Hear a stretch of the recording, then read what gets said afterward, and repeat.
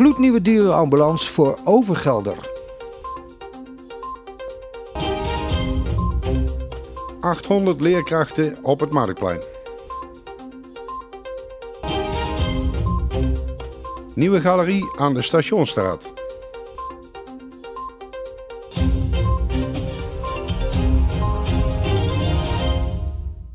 De dierenbescherming heeft over het hele land nieuwe dierenambulances gekregen.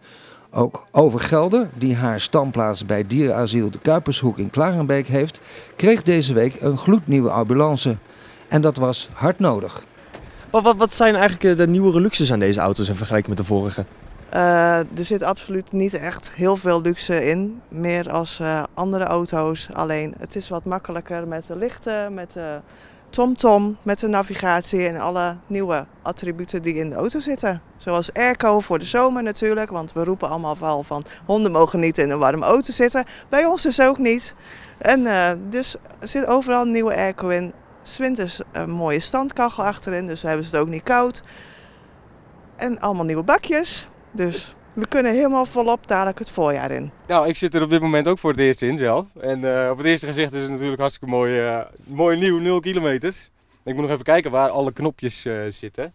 Ik weet dat dit de afstandsbediening is van de zwaailampen en de knipperlampen. Dat is uh, iedere kent de droom om uh, die knopjes te mogen besturen. Ja, soms is het ook wel handig hoor. Als je ergens langs een drukke weg staat in het donker, dan uh, als je er langs staat, dan zet ik ze altijd aan. En heb je, heb je ooit wel eens misbruik van gemaakt?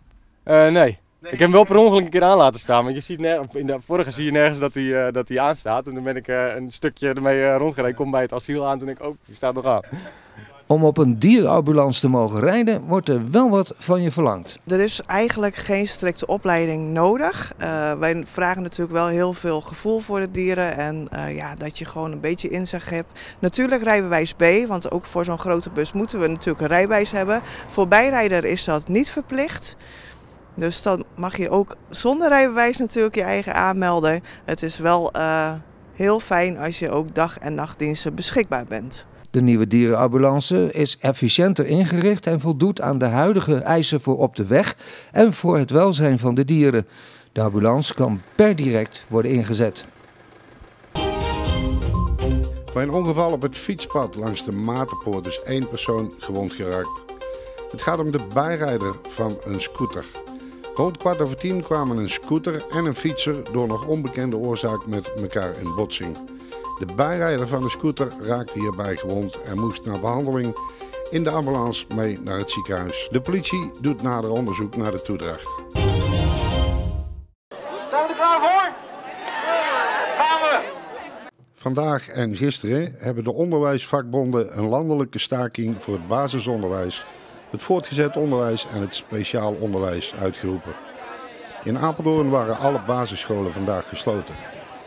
Drie grote schoolbesturen in Apeldoorn, het PCBO, Leerplein 055 en de Veluwe Onderwijsgroep, organiseerden een manifestatie op het Marktplein. De bedoeling was aandacht vragen voor de toekomst van het onderwijs. De manifestatie begon in de omgeving van de bioscoop, waarna in optocht over de Hoofdstraat, Deventerstraat naar het Marktplein werd getrokken. Op het Marktplein werden de circa 800 deelnemers onder andere toegesproken door Peter Heerschop. Hallo, hè hè. Uh, ik weet niet of is het daar ook goed te verstaan, want uh, ik praat nu met wind tegen. Dus anders moet je uh, met de wind mee gaan staan. Ja, ik weet niet, stemmen zijn ook windgevoelig. Wat fijn dat jullie met zoveel zijn. Het heeft één nadeel. Je ziet hier niet dat er ook een tekort aan leerkracht is. Maar goed, dat, uh, dat praten we later wel ergens goed. Uh, ik ga straks zeker, zeker een ode houden voor jullie, want we willen het heel positief benaderen. Het, komt, het onderwijs komt heel vaak negatief in de media en het klopt allemaal niet en we lopen ver achter en ze kunnen er niks van. Ik wil straks duidelijk ma maken wat er allemaal heel goed gaat.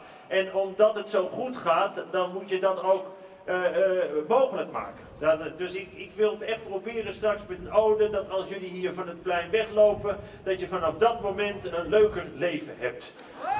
Uh, ja, dat is het enige wat ik jullie vandaag kan bieden. Ondertussen ben ik ook best wel in gesprek met allerlei, met VO-raad, met PO-raden, met ministeries, maar dit gaat allemaal heel langzaam. Want ik loop weg en dan zeggen ze een heel goed plan, heel goed plan. En dan hoor je er voor de rest maanden niks meer van. En dan doe je na maanden hetzelfde plan en dan zeggen ze, het is een heel goed plan, heel goed. Nou, maar goed, we houden vol met z'n allen. Er was ook ruimte voor het ondertekenen en inleveren van een petitie die door de organisatie in Den Haag zou worden aangeboden.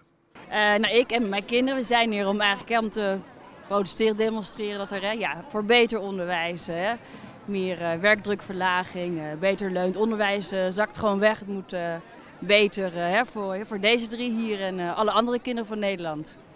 Je zit zelf ook in het onderwijs. Nou, vandaag geen school, dus je hebt de kinderen meegenomen. Zeker, ik heb ze meegenomen. Ik, ik doe zelf de deeltijdopleiding PABO, dus ik ben nog aan het leren om echt het onderwijs in te gaan. Uh, maar kinderen laten vandaag vrij en uh, ja, toch belangrijk om wel even ook uh, hè, steun te betuigen aan een goede zaak. Dus uh, we nemen ze gewoon mee. Ja. En wij uh, demonstreren omdat we vinden, omdat we ons zorgen maken over het onderwijs. Uh, niet zoals nu gaat, want nu is het wel leuk en we, ja, doen leuke dingen. Maar vooral ook naar de toekomst toe. Van zijn er straks nog wel genoeg meesters en juffen die kiezen voor het vak. wat echt een vak is, wat een heel leuk vak is, wat ook wel zwaar is. En ja, we willen gewoon meer meesters en juffen voor de, voor de klas. En zometeen gaan wij onze plannen overhandigen aan wethouder Nathan Stukken. En we hopen dat hij er iets mee kan doen, wat in zijn macht ligt. Dus ja, ja, we hopen dat het verder komt. Oké. En um, zeg maar, jullie staken dus niet voor meer salaris, of ook? Nou, um, ook. In ieder geval niet voor meer salaris, daar gaat het niet om. Maar de kloof met het voortgezet onderwijs is gewoon enorm. En wij zien dat best wel um, ja, mannen van mijn leeftijd denken van nou, weet je wat, misschien is het toch wel goed om na te denken om iets anders te gaan doen dan onderwijs. En ja, dat is wel een grote zorg, want uh, ja, de, de, klassen moeten wel bemensen worden en er moeten zometeen wel goede lessen gegeven worden. Dus we vinden het verschil gewoon met het onderwijs uh, veel te groot. Tussen uh, basisonderwijs en voortgezet onderwijs bedoel je? Ja, basisonderwijs en voortgezet onderwijs. En daarom zijn we ook heel blij dat ook mensen van het voortgezet onderwijs ons, uh, ons steunen. Want die zien dat ook. Die zeggen van ja, jullie werken net zo hard, misschien wel harder. En uh, hebben nog meer lessen. En ja, ze staan ook wel achter ons en dat voelen we ook wel. En dat vinden we heel fijn. Oké, okay, dankjewel. Okay. Mag ik dan nog even je naam? Ben. ben. We zijn heel tevreden. We zijn heel blij met de opkomst. Het was een hele positieve bijeenkomst. En ja, we zijn heel blij. Ja. En denk je dat het iets gaat bijdragen? Of hoop je dat? Ja, dat hopen we natuurlijk wel. Ja, we staan hier niet voor niks. We staan hier omdat we een boodschap willen afgeven aan de politiek. Dat we ons zorgen maken en uh, we hopen op deze manier daar een steentje aan bij te hebben gedragen. Nou was uh, onze wethouder er ook hè, van onderwijs. Hij heeft zijn betrokkenheid laten zien. Verder kan hij ook niet veel doen, hè, geloof ik. Nou, we zijn heel blij dat hij hier vandaag samen met ons was en zijn betrokkenheid toont. En uh, ook het statement samen met ons maakt. Ja, zijn we heel tevreden. Heb je, e-, kan je een beetje schatten hoeveel mensen er waren? Heb je enig idee? Nou, ik denk wel ruim 700 mensen. Nou, dat was mijn hele manifestatie, hè? Nou, dat was prachtig. Zoals die uh, hele groep honderden leerkrachten al aankwam lopen. Dus dat is een ontroerend gezicht. Ja, dat vond ik ook. En ik vond ook uh, mooi hoe ze er allemaal stonden. Maar ze vonden jouw ode aan het onderwijs ook mooi. Kan je dat in een paar woorden nog samenvatten? Kijk, die ode die, die komt heel erg vanuit mijn achtergrond, vanuit de pedagogiek. De, die gaat heel erg over waarom mensen ooit het onderwijs in zijn gegaan. En uh, daar, daar, uh, daar zit zoveel liefde in voor, voor leerlingen, voor, voor collega's, voor, om, het, om mensen echt iets te leren. En wat daar allemaal voor nodig is. En wat je allemaal doet naast de dingen waar je voor staat. Voor het leren lezen, rekenen, uh, bewegen, begrijpen. Dat, dat is allemaal zo. Maar het, het gaat nog veel verder. Het zit, dat zit heel diep van binnen. Alleen je moet je niet vergissen. Ik bedoel er ook mee. Het is niet alleen een roeping, het onderwijs. Het is ook echt een beroep. Het is een zwaar beroep. En daar moeten mensen uh, uh, hard voor werken. Maar om alle dingen die ik noem in de ode waar te kunnen maken, dan, dan is er wel ruimte nodig. Dan is er vertrouwen nodig. Dan is er, uh, dan is er meer samenwerking mogelijk. Maar die, die, die moet je ook wel geven. Dan moet je de kans geven om meer samen te werken. Heb je hoop, heb je hoop dat het gaat verbeteren? Ja, maar als je hoopt, dat hoop dat leg je buiten je. Het is met, uh, zoals in alle heilige boeken, geloof, hoop en liefde. Geloof en hoop ligt buiten je. Ja. Je moet liefde geven Ja, en dat is in heel veel vormen. En dat kan ook het ministerie. Dat kunnen ze ook van buitenaf denken. Ja, ik, ik, wij snappen hoe belangrijk het onderwijs en de zorg, die twee, daar moeten we echt uh, voor geven. En daar moet je, uh, dat is in allerlei vormen kun je liefde geven. Nou, ik vond dat je heel veel liefde gaf met al die foto's. Al die stralende gezichten. Ach ja, maar het is, ik vind het ook zo mooi. En ik weet ook hoe hard ze werken en wat ze willen. En, ze, en zij willen eigenlijk ook iedere dag praten over succesverhalen. En het is eigenlijk verdrietig dat ze daar te weinig aan toekomen. Dat er veel meer moet worden gepraat over wat er misging of wat er nog moet veranderen of hoe we dingen moeten oplossen. Tuurlijk willen zij praten over, ik heb dat en dat met een leerling bereikt. Ik heb dat gesprek met die ouders gehad. We hebben met collega's met elkaar dat en dat samen gedaan. Ja, als je daar nauwelijks aan toekomt, ja, daar word ik wel een beetje verdrietig van. Maar ik ben blij als ik ze zie. Ja, je begon met tranen in je ogen, door de wind. Maar je staat hier nu met een grote glimlach. Ja, je wordt, dat, was, dat was een goede energie. En dan de drie besturen hier, de drie onderwijsbesturen samenwerkend.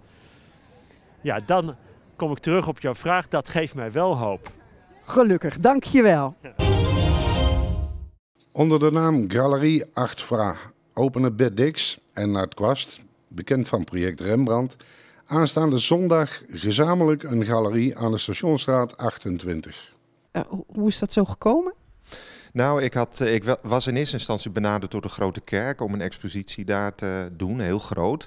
Vond ik superleuk en Bert kwam daar ook en Bert was helemaal enthousiast over dat dit pandje vrij kwam. En toen dacht ik, ja, ik ga dat gewoon doen. En uh, ja, ik heb wel even getwijfeld en hij zei, ja, we moeten heel snel beslissen, want... Uh, ja, we hadden niet zo heel veel tijd. En toen zijn we ook in het donker nog even naar binnen staan kijken. En op een gegeven moment hebben we gewoon een knoop doorgehakt. En ja. Het heeft wel een speciale naam. Uh, hoe zijn jullie daaraan gekomen? Antvra. ik doe het samen met uh, Nat Quest. En ik dacht dat zijn vrouw de, de, de voorzet had gedaan. Want Aad Fra, Aad is een voornaam van een Italiaanse kunstenaar. En dat is de patroonheilige van alle kunstenaars over de hele wereld. Aad Francesco heet hij, geloof ik. Dus. Aad Fra. En wat voor kunst komt hier te hangen? In principe alle kunst, althans, ja, alle soorten kunst mogen hier komen hangen. Uh, modern, klassiek. Dat, uh, daar maken we geen onderscheid in. Het is ook leuk om het misschien wel naast elkaar te hangen. Maar we hebben ook aparte ruimtes. Dus je kunt het ook los van elkaar uh, presenteren. Ja, we willen eigenlijk dat heel breed aanbieden, want uh, mijn stijl is ook heel anders dan die van Bert. Maar we willen echt een heel, heel breed aanbod bieden. En, en ja, we gaan natuurlijk nu nog open. En uh, momenteel hangt er ook werk van Bert en van mij en ook van wat andere mensen. En dus er zijn vooral schilderijen en wat beelden te zien. Ja. Um, wij proberen vijf dagen in de week open te zijn, van 1 tot 3. En zaterdag van 12 tot 4. En die vijf dagen, dat is? Uh, dinsdag, woensdag, donderdag, vrijdag, zaterdag. En na telefonische afspraken. Dus ah. me bellen. En dan, uh, dan kom ik. Als, als, als hier iemand hangt uh, die, en, en, de familie uit ver buiten de plaats wil komen en ze bellen me op, dan doe ik open. Wat vind jij van je vaders kunst? Ik vind het heel knap. Ik zou het zelf niet kunnen, maar ik ben nog een kind. Um, en ik ben ook heel trots op hem. En uh, ben jij een uh, artist in de dop? Um, niet heel erg, maar ik hou wel van tekenen. Maar het...